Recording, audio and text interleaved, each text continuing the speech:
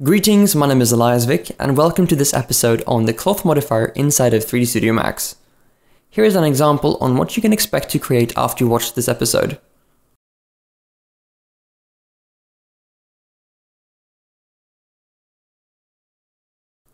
Before we talk about this modifier, I'd like to mention that I'll be reading from the 3D Studio Max documents on some of the parameters for this modifier. This modifier is very complex and require good knowledge about the modifier in order for you to work on something more advanced. So now that this is out of the way, let's begin. The cloth modifier helps you to simulate cloth-like effects on your models. So for example, if you're going to create a pillow, t-shirt, flag, curtains, or anything similar to that, the cloth modifier is going to be your new best friend. Before we apply the cloth modifier onto our object, it's important to understand that the cloth modifier requires many polygons in order to simulate a good result for us. So what I have done is to create a plane with many length and width segments, which will add more detail to my mesh. Alright, now let's go ahead and create a sphere.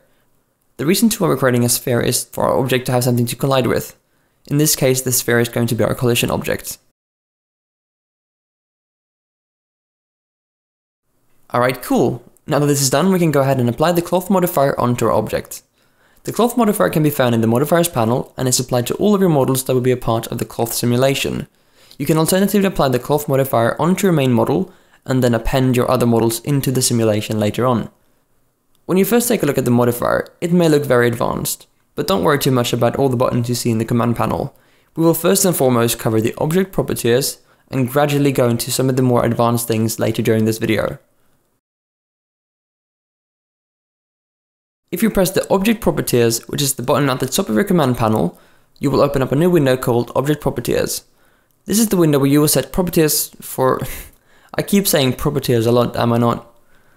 Either way, you will when you when you open up this window, you can essentially set properties and and um, parameters, change parameters for your model that will be a part of the cloth simulation. So depending on what you're going to be creating, you can change some settings in here, which will affect the overall look of your cloth. So what you want to do in here now, first of all, is to look to the left and select the object you want to work with. Depending on what you want to do with this object, you can set it to be inactive, which means the object will be a part of the cloth simulation, but not do anything. You can then select the cloth option. The cloth option will enable a ton of settings, making you able to change everything cloth related to the object. Right under cloth properties, you can set a property of some of the more common cloth types. As you change the preset, you can actually see the values below change accordingly to the editor's set values for that type of cloth. I believe that you already figured out you can actually save and load your own presets with the save and load buttons. Below the preset, you can actually set your own values to define your own cloth type. Here we can set the U-bend, V-bend, UB curve, thickness, and so on. There are a lot of settings that we can go through and talk about, but I will talk about a few and then leave a link to the properties in the description. The U-bend and V-bend stands for resistance to bending. The higher the value, the less the fabric will be able to bend. Both the U-bend and V-bend parameters are locked together so that changing one will set the other to the same value. You can disable this by toggling the anisotropic button below. The density defines the weight of the cloth per unit that you're using in your scene. Use smaller values to simulate a lighter cloth, for example something like silk. Thickness defines the virtual thickness of the fabric for the purpose of detecting cloth-to-cloth -cloth collision.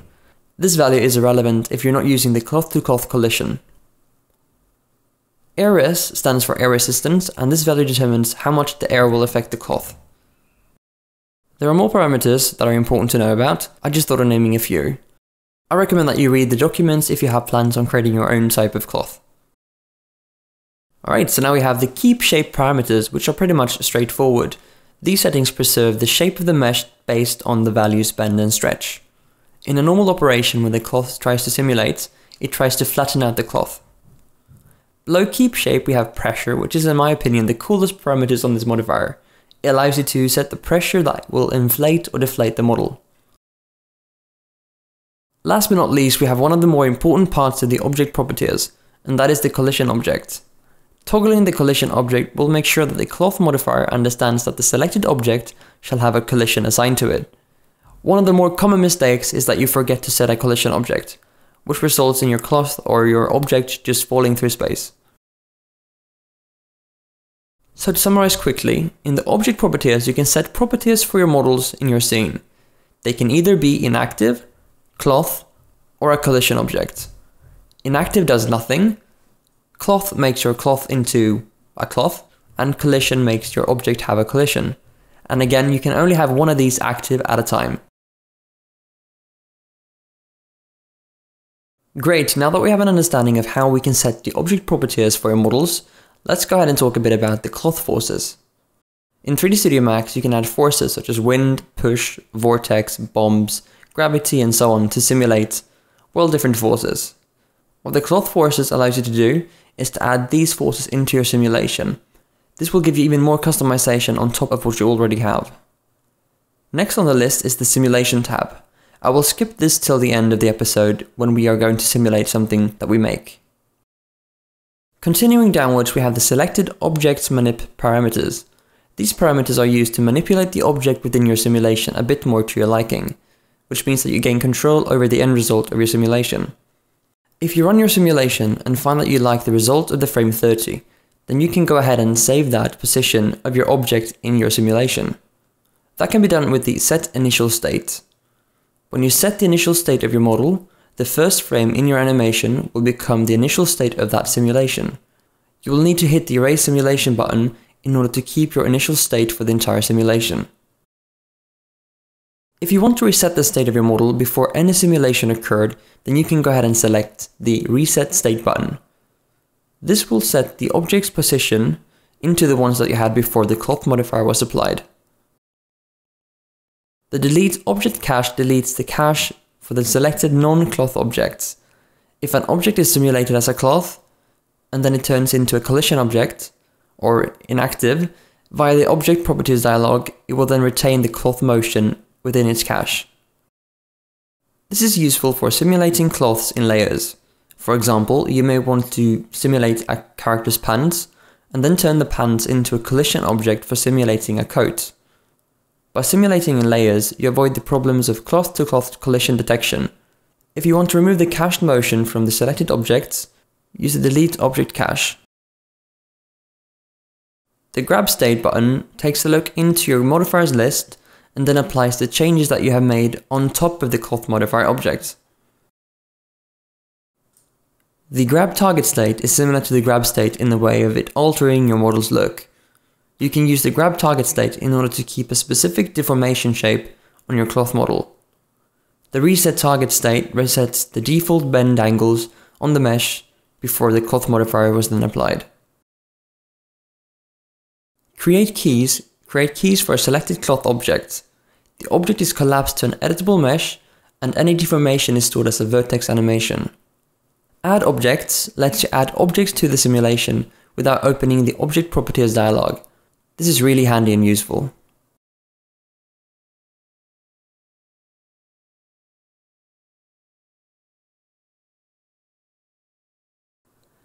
Below these you can toggle Show Current State and Show Target State.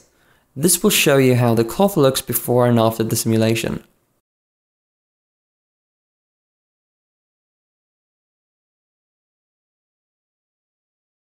When Show Enabled Solid Collision is toggled on, you can then see the vertices that were involved in the solid object's collisions. Below these we have a new category called Selected Objects. I won't be able to cover everything in here since it's out of my knowledge, but what some of these parameters will allow you to do is to assign different maps, textures, vertex colors, which will change how the cloth should behave. For example, you can make a cloth bend after a black and white texture. I will leave a link below so that you can read more about it. Last but not least, we have the simulation parameters, which lets you specify general properties of your simulation. Some of these are pretty straightforward, but I will cover some of those that I believe can be a bit hard to understand. Centimeter slash unit determines how many centimeters there are per 3D Studio Max system unit. You can read more about this in the documentation.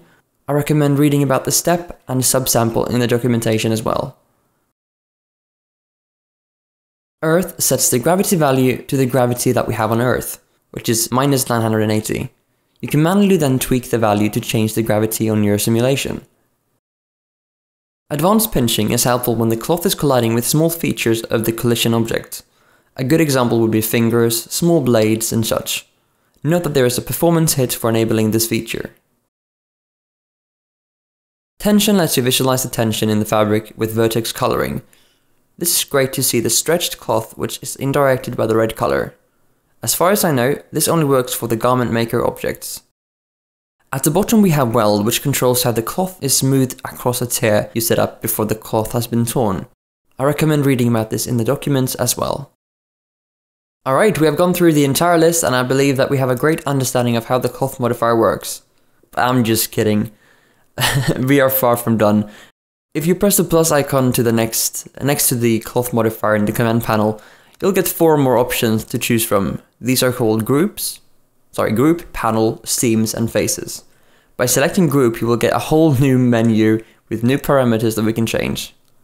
Now this menu is almost as extensive as the last one, so I want to quickly and efficiently cover these parameters for you. As you can see, most of the parameters are unavailable to us. We can make group, which I will explain very soon. We can weld vertices, make a our cloth. Below these we can copy, paste, shrink, grow, and etc. All of these functions allow me to, well, shrink, ring, copy, grow the selection, and things like that.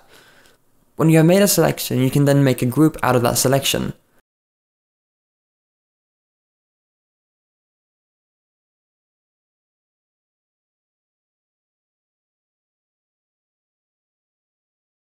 By creating a group, a ton of new settings are available to us. We can now go ahead and add other objects to manipulate parts of our group.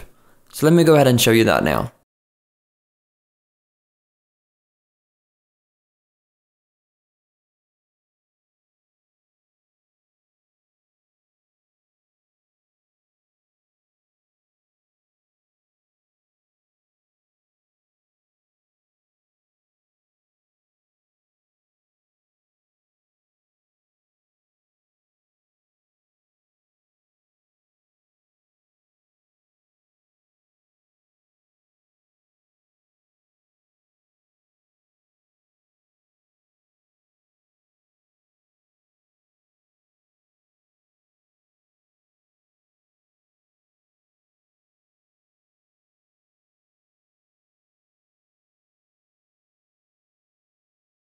We can of course delete and rename our group, change it to be sticky so that it sticks onto surfaces that it collides with.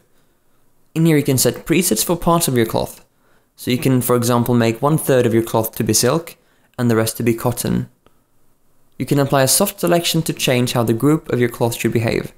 So you can really manipulate and change parts of your cloth objects by selecting it in here. After group we find panel, Instead of opening the object properties, you can go into the panel from now on to change these parameters. All you have to do is to enable the panel view from the object properties.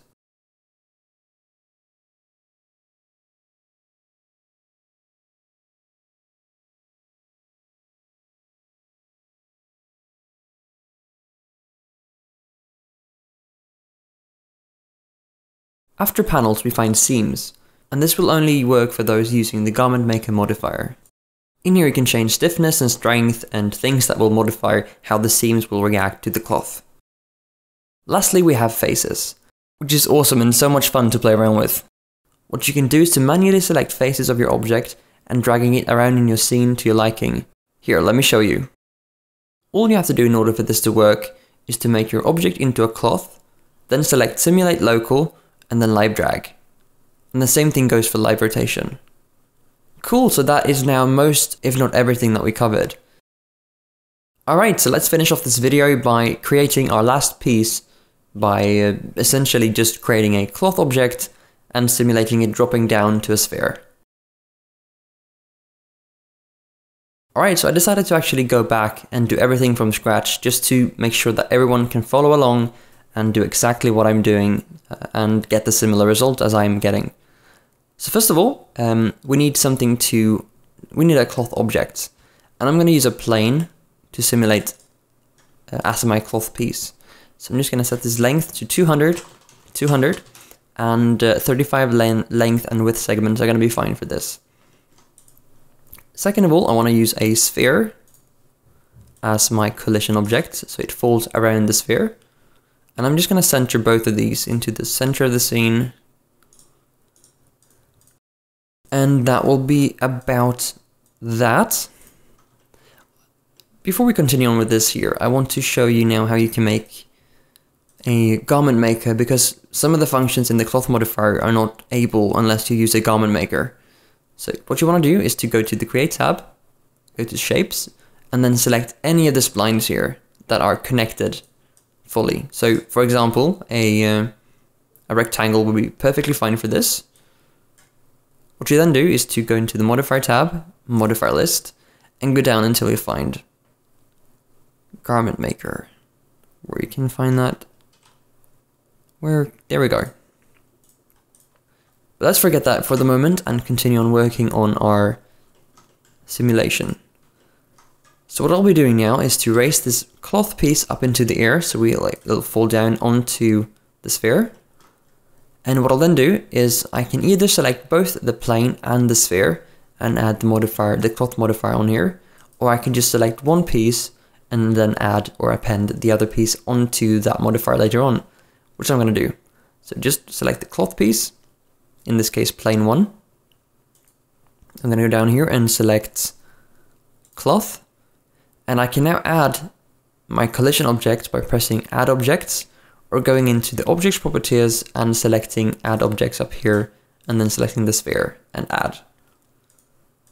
Now this is completed or complete, I'm going to go ahead and select the plane, which is the cloth object, set it to cloth, and let's use a silk cloth piece.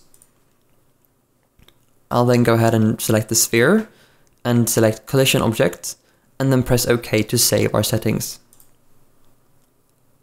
If I now go ahead and press the simulate local, the cloth will fall down onto the sphere and react to, uh, to its geometry. And it's doing that because the gravity is set to the Earth's gravity, so it's going to fall like a real piece of cloth would fall in real life. Or similar to that. I can't say that it's exactly 100% accurate. So simulate local, we'll do a simulation of this, and it may bug out like this. Don't worry, don't worry though. Um, in order to reset the state of this position here, just press the reset reset states. Now, the reason why the cloth actually made this uh, weird artifact thing where it's spreading out all the polygons everywhere and all that is actually due to a, a unit problem. So my centimeters and units are not really matching up with the sphere, you could say, or in the scene overall. So that's why it's bugging out and you can't really calculate how it should flow and, and fall down onto the sphere. So it's important that you watch your units and make sure that your scene is in scale and not really mixing between realistic and not realistic values. Now, instead of battling those things, I'm going to go ahead and try the simulate local damped instead and see what we get from this thing. Simulate local damped is uh, similar to the simulate local, except that it's damped and uh, more accurate and slower, you could say. So now we have a nice cloth piece falling down onto the sphere. Now, if I want to record this process, because right now in our timeline we have nothing saved here. So if I want to have this falling down and recording the process of that and record it into my timeline, I'll have to go ahead and uh, simulate the entire process here. And I can do that easily by just pressing simulate. The problem is though, sometimes that won't work either because the uh, uh, we'll get some errors and the cloth piece will change um, and get stuck and then the, the, the simulation will stop. Now there are a bit of a work, some some workarounds around this. So what we could do to to work around this is to actually select the the the sphere and then just make it a bit smaller maybe. And then go back to the cloth piece again, reset state, and then try again with the simulation. And you can see just because the, the, the, um, the sphere was a bit too big, or in a certain, certain scale, it was just bugging out because of that. So it has some limitations, and you can play around with the subsamples and self-collision and things like that to sort of avoid that happening. But essentially, um, that's how you do a simulation and that's how you do the rendering of this. I'm actually quite happy that we got two problems in here so I could show you how to resolve these issues. So simulate local, we can actually try that one again. So let's erase the simulation and simulate local. It sort of works. Now you can see that we have a problem with this clipping through the entire piece here. So we can actually go ahead and reset the states. And let's go ahead and do the subsample to 7, for example. It's a bit more accurate now, so probably, maybe, yeah, it's a bit better now. You can see it's not clipping through there anymore.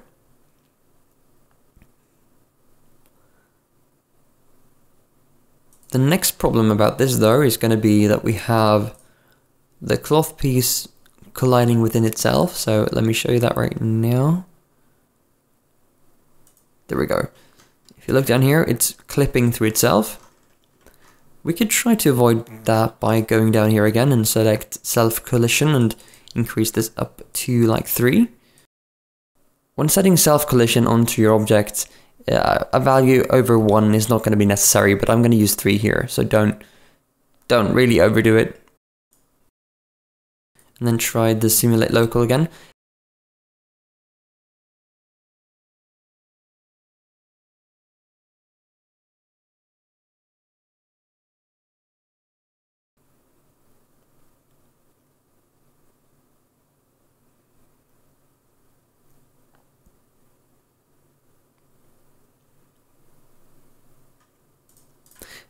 But I'm not really sure if you saw that, but it's it's better now than before. One last thing, let's do a reset state and do a simulate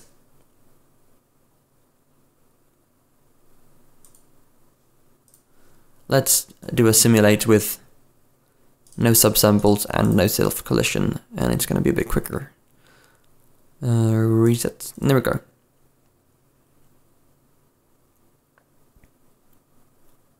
What we've done now is to essentially save down the entire process of this piece falling down onto a sphere. And we can play that back by play animation. And we now have this. Alright, I feel like I've been talking for over an hour now. And um, yeah, I guess this is going to be about it. If you have any questions, just put them down in the comment section below. And if you have any suggestions, put them in the comment section below or send them to me via email or uh, any on any media that you can find find me on really would work perfectly fine.